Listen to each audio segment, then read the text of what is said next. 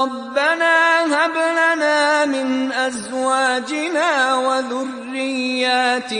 قُرَّةَ أَعْيُنٍ وَاجْعَلْنَا لِلْمُتَّقِينَ إِمَامًا